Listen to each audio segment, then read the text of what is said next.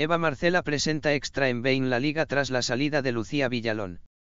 La presentadora ha debutado con la primera jornada de la Liga Española al frente del programa que repasa cada jornada.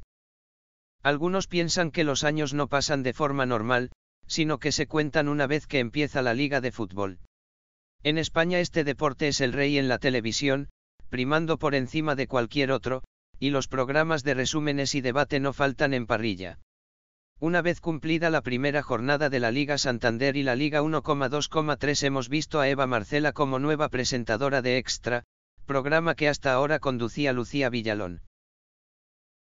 La antigua presentadora de Extra, Lucía Villalón, anunciaba a través de su cuenta en Twitter que ya no estaría más en Bein Sports y que se unía a Univisión, dejando huérfano el programa de información deportiva y análisis de cada jornada de fútbol.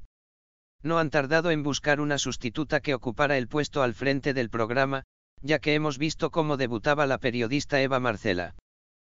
La nueva presentadora mexicana no desconocía en absoluto la Liga de Fútbol Profesional Española, ya que colaboraba en el programa los lunes al gol de la cadena Gol.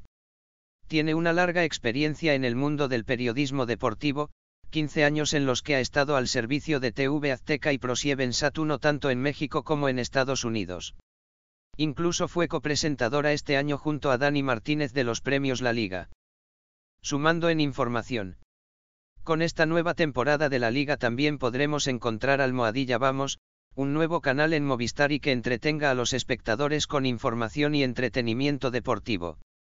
Además se podrá disfrutar de encuentros deportivos de toda índole, incluso de deportes minoritarios como la natación, el tenis e incluso partidos de baloncesto tanto europeos como americanos, atrayendo a una gran variedad de usuarios.